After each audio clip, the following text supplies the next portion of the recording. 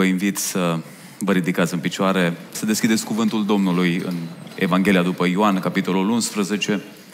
Voi citi două versete, versetul 25 și versetul 26, pagina în Biblie 1041. Iisus i-a zis, Eu sunt învierea și viața. Cine crede în mine, chiar dacă ar fi murit, va trăi. Și oricine trăiește și crede în mine, nu va muri niciodată. Crezi lucrul acesta? Amin. Ocupăm locurile.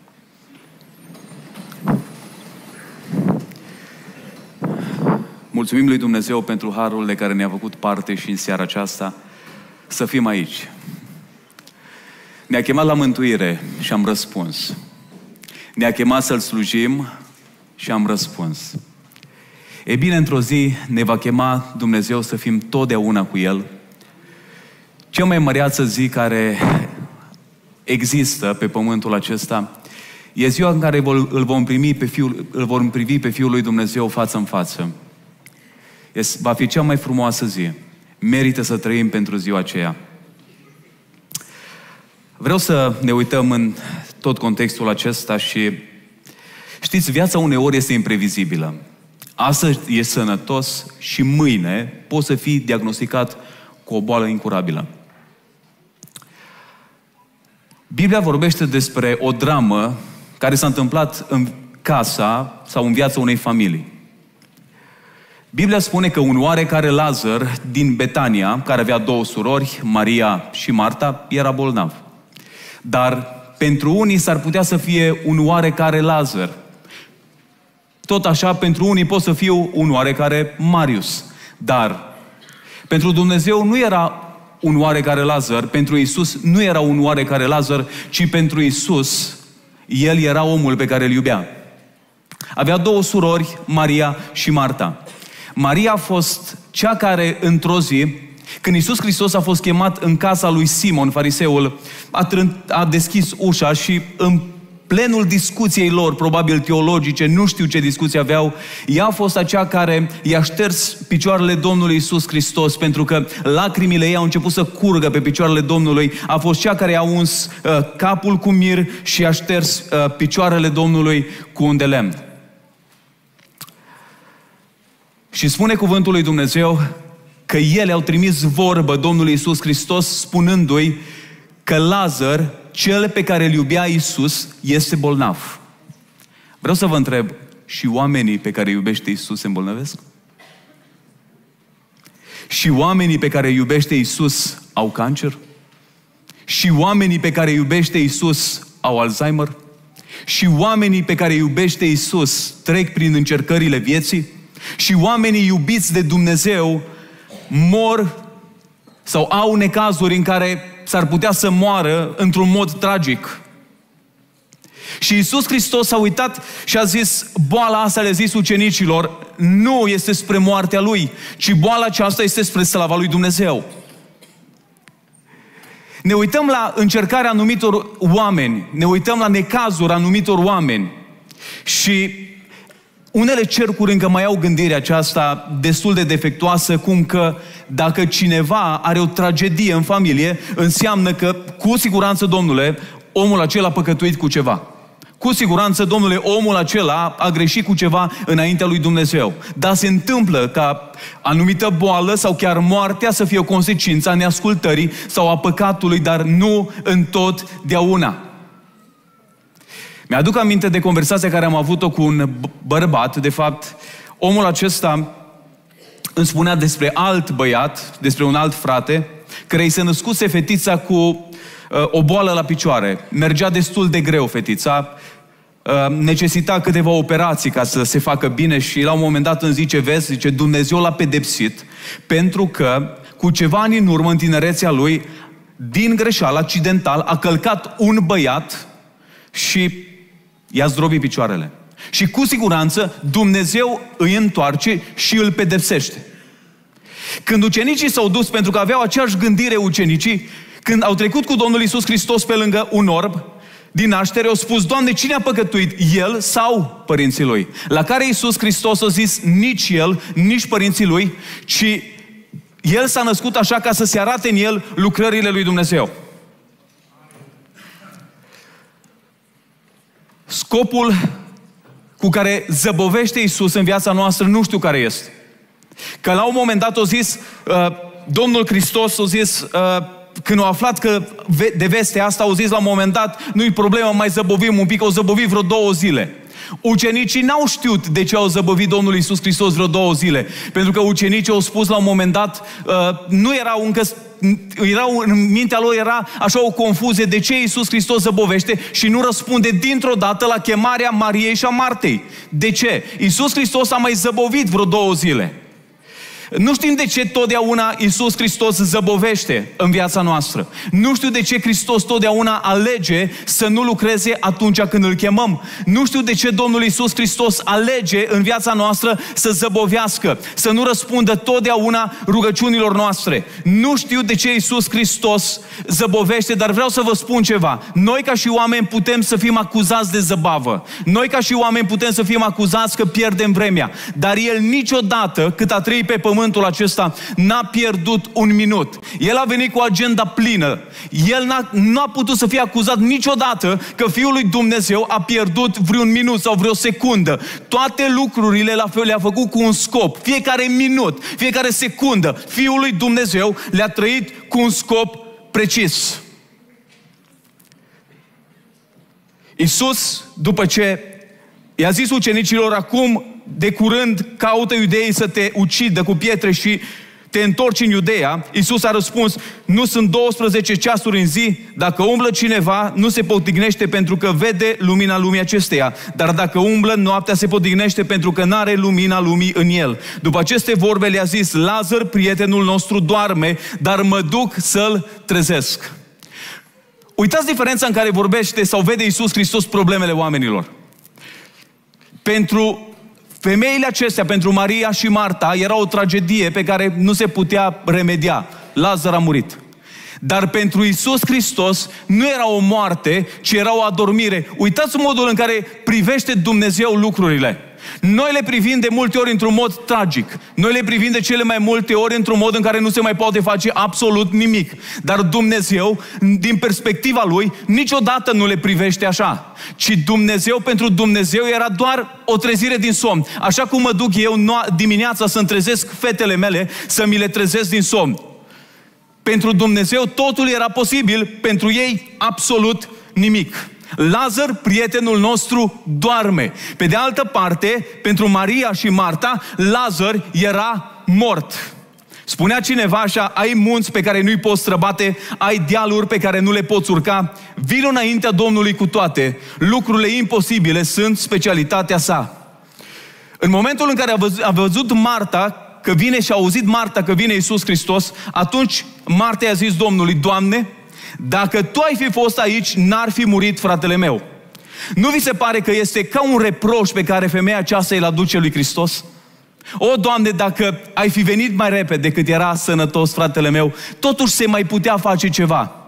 Nu vi se pare că este o acuză pe care femeia aceasta o aduce Fiului lui Dumnezeu? Ea spunea, Doamne, dacă totuși Tu erai aici, veneai la timp, veneai cu două zile și nu mai zăboveai, veneai la timp, totuși, Doamne, se mai putea face ceva, dar acum nu se mai poate face absolut nimic. De câte ori n-am spus și noi lucrul acesta înaintea lui Dumnezeu, când Dumnezeu n-a lucrat după scenariul pe care noi ni l-am format în mintea noastră. De câte ori n-am spus și noi înaintea lui Dumnezeu, Doamne, dacă Tu lucrai așa, era altfel. Doamne, dacă Tu nu întârziai să-mi răspunzi rugăciunilor mele, de câte ori n-ați fost dezamăgiți ca cei doi pe de pe drumul Emausului? Știți că unul, din, unul dintre motivele pentru care Petru a falimentat este că omul acesta n-a știut gestiona dezamăgirea. Pentru că în mintea lui și-a făcut alt scenariu despre Isus Hristos. Și când toată schelăria vieții lui a căzut, omul acesta pur și simplu, viața lui s-a, s-a cutremurat. Pur și simplu schelăria vieții lui a căzut dintr-o dată pentru că unul dintre motivele pentru care Apostolul Petru a căzut este că omul acesta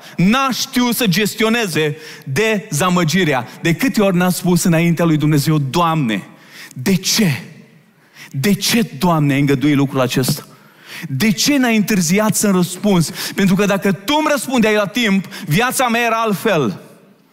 Cu ceva ani, mulți ani în urmă, în tinerețea mea, am trecut printre cele mai mari dezamăgiri ale vieții. Eram aproape în depresie. Și n-am înțeles de ce Dumnezeu a îngăduit să se întâmple lucrul acesta tocmai mie. I-am zis, Doamne, te-am slujit, Doamne, sunt copilul tău, de ce ai îngăduit să mi se întâmple lucrul acesta tocmai mie, Doamne? Și am înțeles peste ani că Dumnezeu a pregătit pentru mine peste ani ceva mult mai bun decât așteptam eu atunci.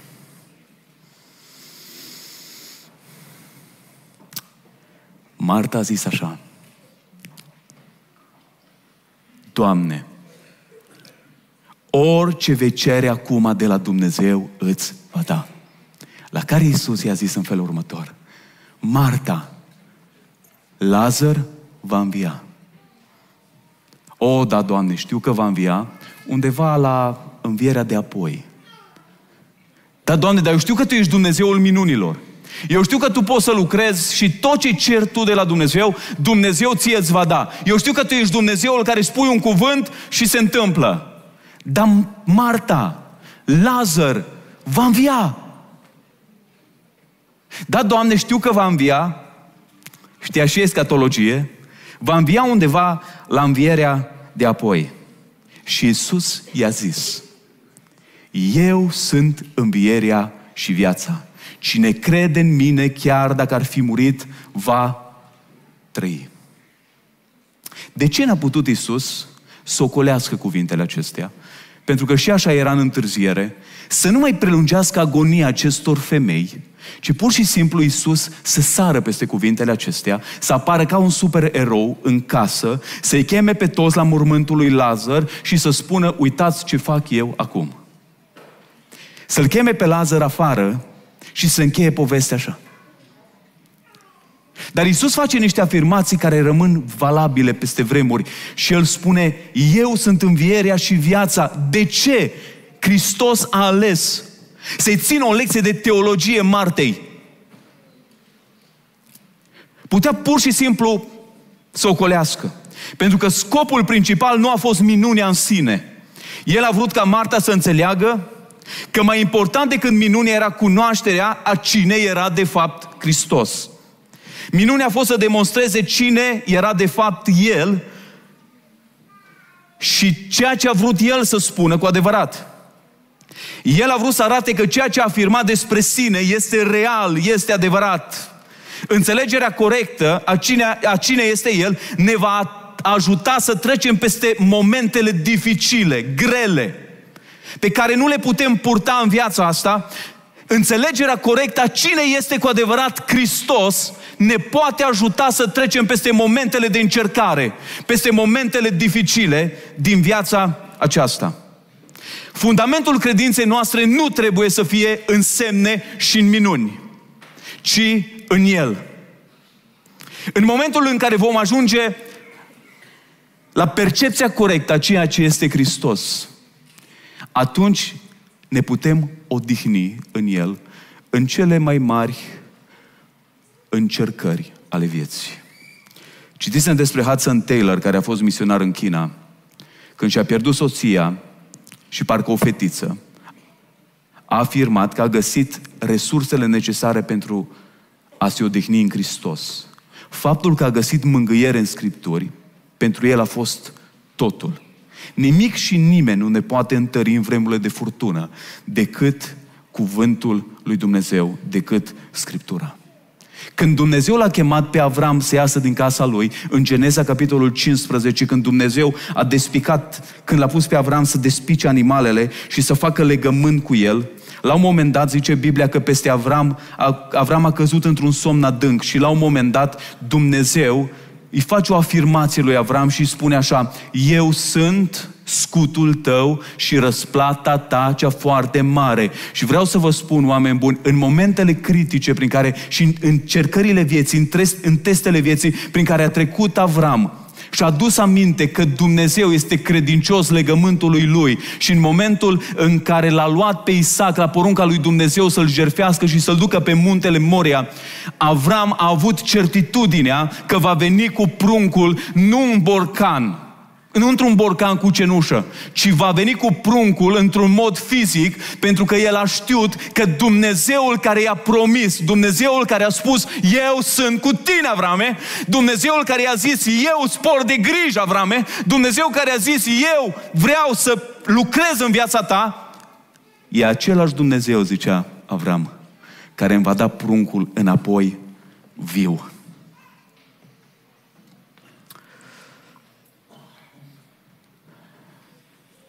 Când Isus potolește furtuna, știți întâmplarea cu ucenicii pe mare? Isus nu s-a ridicat, n-a potolit furtuna de dragul de a, de a lăsa pe ucenici cu gura căscată și să zică, Doamne Dumnezeule, extraordinar, păi, te-ai văzut cum s-au oprit valurile alea? Păi instantaneu, extraordinar. Păi tu ai văzut, ce erau niște valuri de 2 metri, am crezut că murim toți, să vezi, s-au ridicat. La sfârșit au, fir- au făcut afirmația asta ucenicii. Cine este acesta? Pentru că scopul cu care Dumnezeu ne trece prin problemele vieții, prin încercările vieții, este să spunem și noi, ca și ucenicii, cine este acesta? Când Petru a fost închis în fapte 12, pe Iacov l-au omorât și pe Petru l-au ținut după Paște să-l omoare și pe el. Spune cuvântul lui Dumnezeu că avea Petru un somn atât de profund, atât de profund încât în timp ce se ruga biserica, Dumnezeu a trimis un înger să-l scoată din închisoare. A venit îngerul la Petru și o trebuie să-i dea vreo două sub coaste ca să-l poată trezi. Oameni buni, să fii în închisoare și să dormi butuc, să ai un somn adânc. Păi numai încrederea în cine este Dumnezeu cu adevărat o putut să-l facă pe omul acesta în clipele grele ale vieții lui să rămână ferm și să se odihnească în Dumnezeu. Când Pavel a fost închis în închisoare, să fie decapitat, spune Biblia că el se bucura. Citisem la un moment dat despre un om al lui Dumnezeu pe nume John White, era un puritan. Se spune că a avut o revelație cu Domnul, s-a întâlnit cu Domnul. Și omul acesta, din întâlnirea aceea cu Domnul, a doua zi, era atât de plin de bucurie încât iubea moartea pur și simplu iubea omul acesta din ziua în care s-a întâlnit cu Hristos, a început să iubească moartea. El a zis, nu mă, nu mă interesează că bolnav, nu mă interesează așa de mult că am cancer. Apostolul Pavel a făcut niște afirmații care pentru unii creștini din vremea de astăzi parcă sunt o nebunie, pur și simplu o nebunie. Pentru mine a trăi, spunea el, este Hristos și a muri este un câștig. În 2 Corinteni, capitolul 5, el face afirmația că își dorește mai mult să dezbrace cortul ăsta și să fie cu Dumnezeu.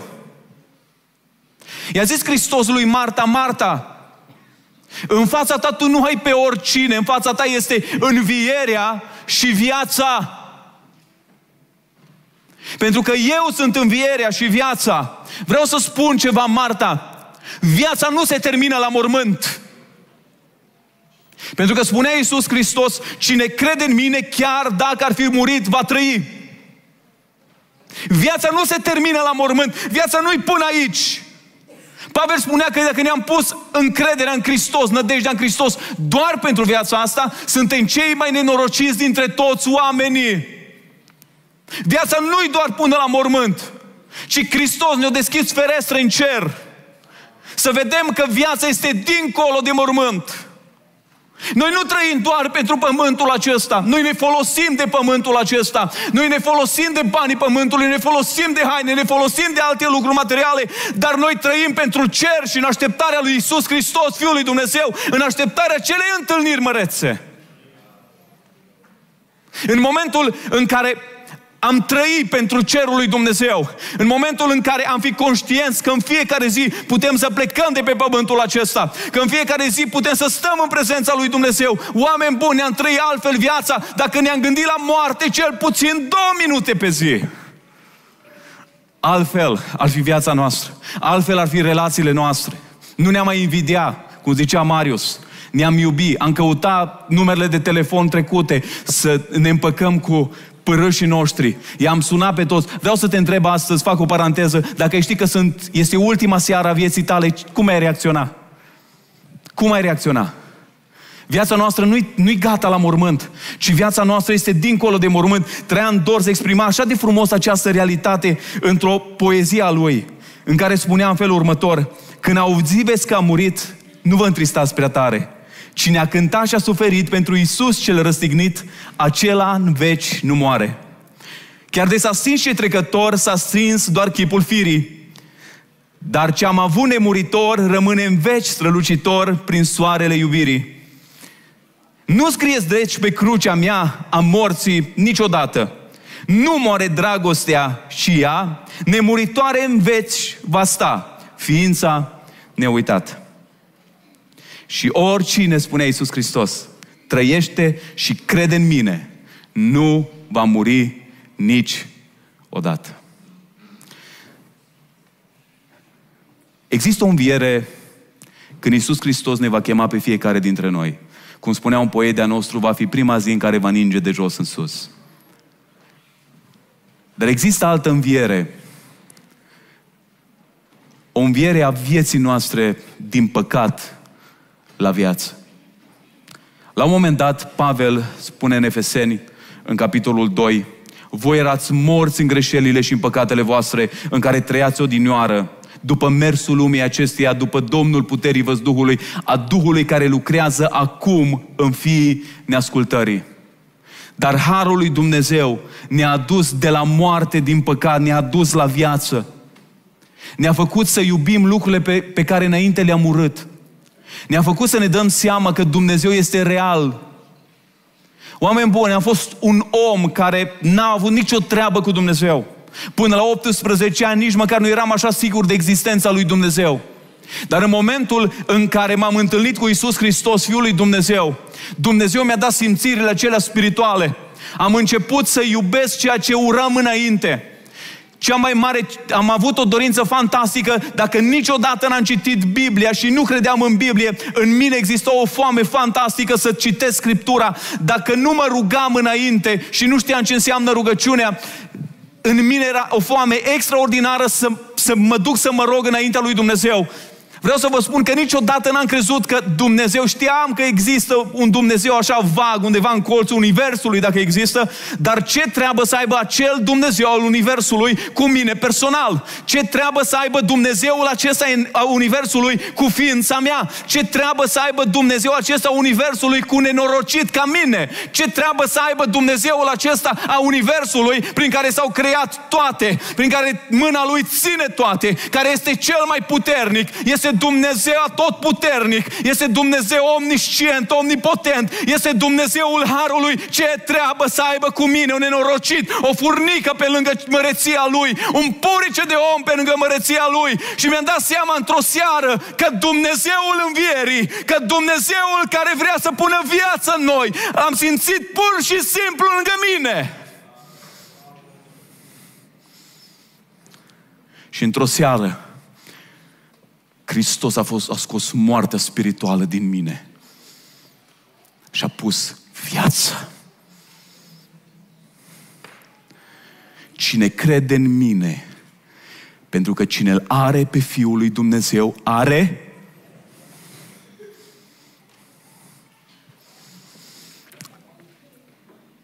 Crezi tu lucrul acesta? Știți ce e interesant? Marta i-a zis, da, Doamne, cred că Tu ești Hristosul Fiul lui Dumnezeu care trebuia să vină în lume. În loc să spună, Doamne, Tu ești viața, Doamne, Tu poți să-L învii pe fratele meu, Doamne, Tu poți să învii morții, Doamne, Tu poți să lucrezi într-un mod extraordinar? Da, Maria, da, Marta, da, Doamne, Doamne, n-am știut lucrul acesta. De a zis, da, Doamne, cred, cred că tu o să, da, tu ești Hristosul, Fiul lui Dumnezeu, care după aceste vorbe s-a dus și a chemat în taină pe sora sa și a zis, a venit învățătorul, zice, te cheamă. Maria, cum a auzit, s-a sculat iute, interesant, i-a zis aceleași cuvinte. Parcă s-o înțeles de acasă. Cu siguranță când a murit Lazar, o zis una către alta, dacă ar fi fost Isus aici, n-ar fi murit fratele meu. Dacă ar fi lucrat Dumnezeu altfel, n-ar fi murit fratele meu. Maria, cum au zis, a sculat iute, căci Iisus nu intrase încă în sat, ci era tot în locul unde îl întâmpinase Marta. Iudeii care erau cu Maria în casă o mângâiau, când au văzut, când au văzut-o sculându-se și ieșind afară au mers după ea, că își ziceau, se duce la mormânt ca să plângă acolo. Maria, când a ajuns unde era Isus, l-a văzut, s-a aruncat la picioarele lui și a zis, Doamne, dacă ai fi fost aici, n-ar fi murit fratele meu. Iisus când a văzut-o plângând și pe ea și pe iudei care veniseră cu ea, s-a înfiorat în Duhul lui și s-a tulburat și a zis, unde l-ați spus? Doamne, au răspuns ei, vino și vezi și Iisus plângea. Dar Iisus nu plângea pentru că era dor de Lazar. Iisus nu plângea pentru că uh, compătimea uh, surorile. Iisus nu plângea din cauza tragediei, din cauza morții lui Lazar, ci Iisus plângea din cauza necredinței lor.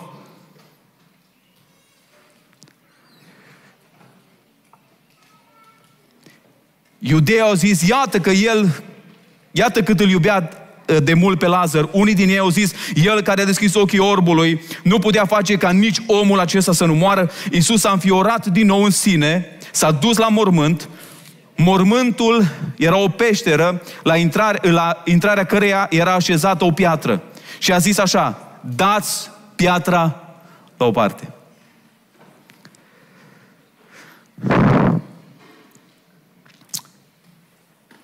Nu știu câți dintre dumneavoastră ați experimentat vreodată mirosul acesta al morții. Dar când eram copil, aveam undeva la etajul 1 al blocului un bărbat singur. Vorba românului, singur cuc. A avut un frate care murise cu ceva vreme în urmă, n-avea copii, n-avea pe nimeni. Omul acela, la un moment dat, murise în casă. Pentru că nu avea pe nimeni, nu avea prieteni, nu avea cunoscuți, era singur, Vă dați seama că nimeni n-a știut că omul acela a murit. Și vă dați seama, după vreo câteva zile bune, probabil după o săptămână, cum mirosea scara aceea, pentru că nu puteai să intri în scală decât cu baptistă, cu parfum. Nu puteai să stai. Cineva ilustra atât de frumos, când Iisus o zis în felul următor, dați piatra la o parte cei care au dat piatra și spunea cineva că era o piatră de în jur de o, de o tonă, o trit câțiva să fie acolo. Cei care au dat piatra la o parte au simțit cel mai puternic în nările lor. Gândiți-vă în momentul în care au dat piatra, au făcut așa.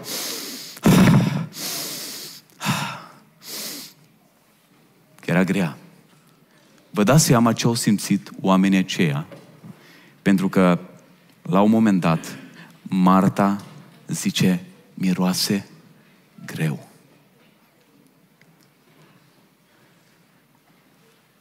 Dar au fost oamenii care au simțit din plin puterea și mirosul învierii. Au fost și primii oameni care au simțit din plin puterea și mirosul învierii. Nu știu ce piatră trebuie să dai la o parte. Poate viața ta este undeva sub piatra problemelor trecutului tău pe care nu le-ai rezolvat.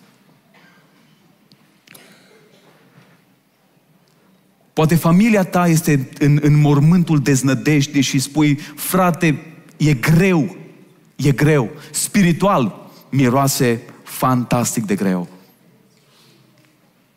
Poate pentru tine cauza pentru care te-ai rugat ani și ani și ani și ani de zile, spui, ai îngropat-o și ai pus piatră.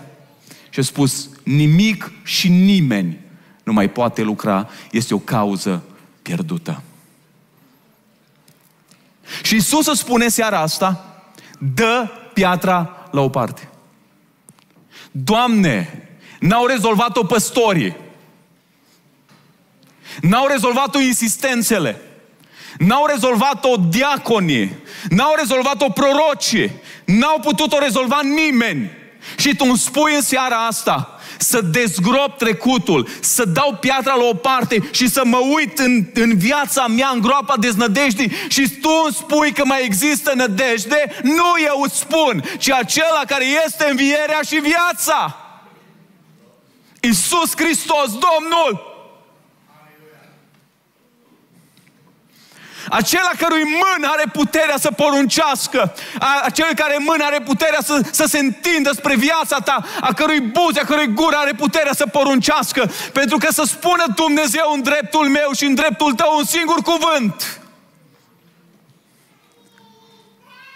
Vă întrebați probabil dacă Dumnezeu mai înviază morții și astăzi da, cred din toată inima. Că pentru a-și arăta gloria și slava și a ne transmite un mesaj că El este Domnul. Pentru că i-a zis lui Marta, Marta, eu sunt învierea și viața și am să-ți dovedesc că sunt învierea și viața. Mi-am adus aminte de o biserică la care am fost și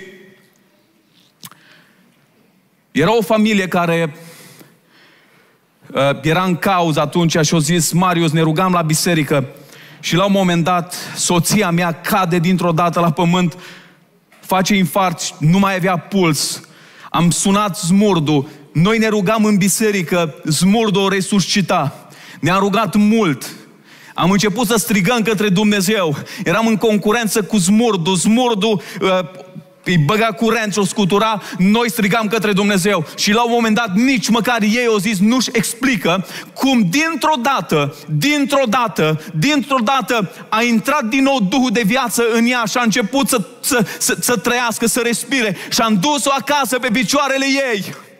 Pentru că în momentul în care Dumnezeu vrea să comunice un mesaj, asta nu înseamnă că ne rugăm la orice mormântare să învie morții, dar există momente în care Dumnezeu își arată slava. Glorificat să fie numele Lui. Nu știu care sunt pietrele pe care le ai peste viața ta. Poate ai spus, vreau să mă ridic și ai căzut din nou. Poate sunt pietrele morții spirituale. La un moment dat, în Ezechiel 37, spune cuvântul lui Dumnezeu, vă voi scoate din mormintele voastre poporul meu. Vă voi ridica de acolo. Poate ești într-un mormânt spiritual, poate ești în, în, în, în moarte spirituală și nimeni nu știe. Dar mă rog în numele lui Isus Hristos în această seară, ca Duhul lui Dumnezeu să pună din nou viață în tine, omule, ca prezența lui Dumnezeu să te ridice din nou, ca legăturile păcatului și a morții să fie dezlegate de peste tine, pentru că păcatul aduce moarte.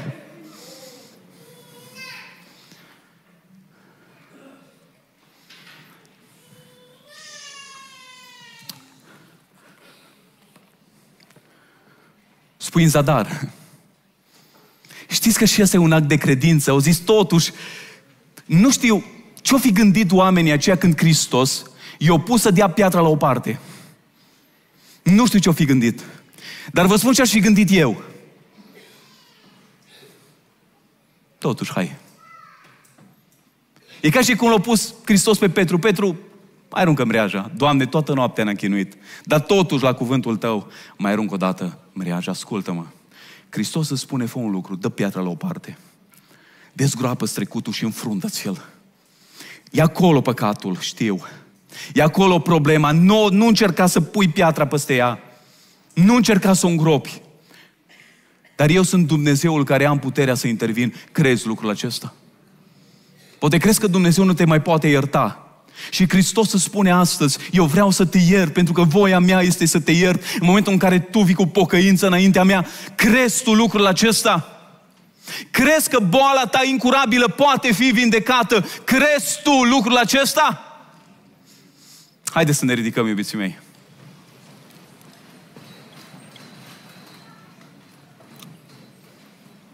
Dacă este cineva în seara aceasta care are nevoie să dea la o parte lespedea, piatra, bolovanul vieții lui, Știu că e greu să intri acolo, știu că e greu.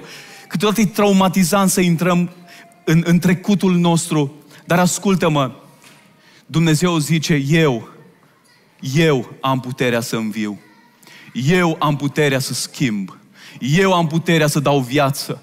Eu am puterea să-mi pun mâinile peste tine. Eu am puterea să te ridic din nou, bărbatule sau femeie care ești aici. Eu am puterea ca băiatul tău care este în casa ta. Eu am puterea. I-ai dus la oameni și oamenii n-au făcut nimic. Ca și fiul acelui tată care era îndrăcit, Doamne, l-am adus la ucenicii tăi, ucenicii tăi n-au reușit să scoată demonul, dar Doamne, fă ceva! N-ai vrea să mai crezi încă o dată că Isus Hristos poate să facă lucruri la care niciodată tu nu te-ai așteptat că poate să facă. Dă piatra la o parte. Dă-o tu. Și spune lui Dumnezeu, Doamne, vin din nou acolo. Unde am renunțat să mă mai lupt. Unde am crezut că e o cauză moartă și pierdută. Vin din nou acolo. Hai să ne rugăm.